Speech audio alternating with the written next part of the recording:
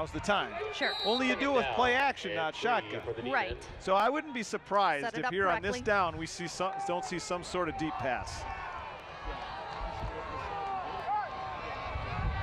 Second down and three for the Century Patriots here. And they're going to hand this one off to Jackson Ford. Or- He's got the first down run. and more. He's up the sideline. And he's going to be stopped just short of a touchdown. I think they're going to have about one yard to go there. Jackson Drew Ford, Katie on the quick feet, for the and he was out of there in a hurry.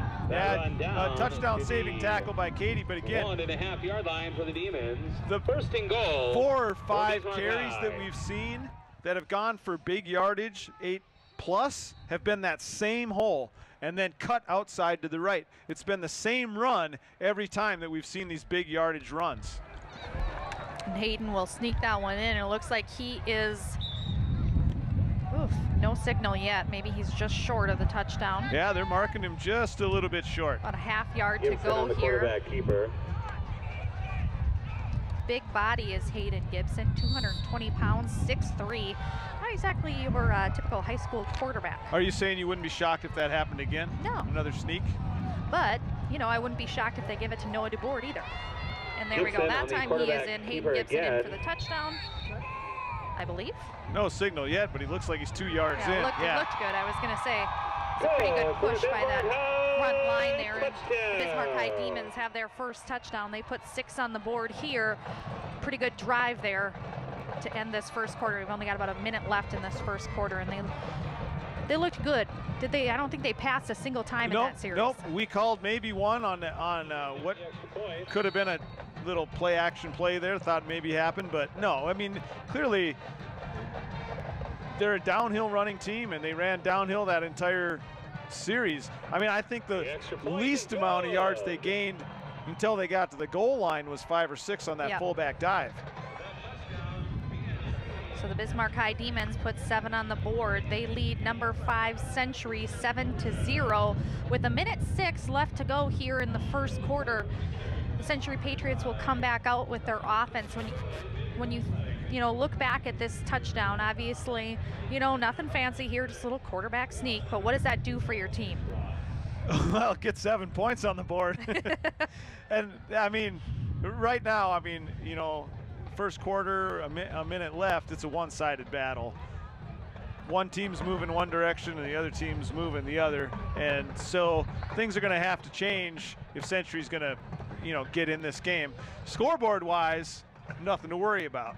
The eye test says Century's got something to do to make this a game. Yes. We'll see if Century's offensive line here is going to be up to the task of moving some defensive bodies here, which will make a big difference, I think. So far, that's kind of been uh, what's holding them back for sure is breaking open that big hole. They've, you know, they've got some talent. They've got some great athletes on this team. They just need a little bit more to kind of surround them and be able to, you know, make the big plays and open up the holes for them. Yeah, and on offense, something has to go right. You know, the first down that they got on that last drive gets called back because of a penalty, but up until that point on that last drive, they were looking good. Hunter Johnson kicks this one deep. That's going to be received by Nagurski on Nagurski. Nagurski the comes Patriots. Out. He's going straight up the middle. Another good return by him. Bounces it off. He's up to about the 47 yard line. That's what we need, returning the ball, huh? Well, he's by far their best offensive weapon right now. That was a, that was a great run. I mean, guys were just bouncing right off of him. And I, you know, the best part of the play was the catch he made at the goal line because if that ball crosses the goal line, it's a touchback. Right. So he, ca- I mean, I don't know if you saw it, but he caught his, 45 yard line. kept his toes just on the goal line, so he didn't cross. It didn't cross. Number 47, Dalton Sander, or Dylan Sander, Seidler, excuse me, made that tackle for the Bismarck Demons. So good field position again for the Patriots. Kraft tucks it down. Kraft on the. Yeah, there's not a lot of room No. uh, on, on any of those runs. It was a little slow developing Yep. with you know the fake handoff to the outside or whatever. It seemed like you know the success with sweeps carry on that one run. It was a quick hitter. Uh, it might be a way to go there. Chris Kraft, not the biggest quarterback you've ever seen. He is 6'1", 210, not exactly tiny. I think that 210 might be a little generous. He's Kraft built tough, to though, pass. you know, I Oh mean, yeah, there's a- absolutely. He's yeah. built like a tailback. Yeah, he he's a little, is. he's a little short for your typical Call. quarterback, but he is he's a tough kid. He's willing to take a Third few licks in there. He also And good defensive player, and that's really tough when you have to have your quarterback back in there on the other side of the ball. You know, it does keep obviously. You know, your head's in the game the whole time, but a lot of extra licks and a lot of extra playing time can be tough as a quarterback as well. This is kind of a big third down at this point in the game first Century. After getting two great returns by Nagurski, they really need to punch in a first down here, keep that momentum moving.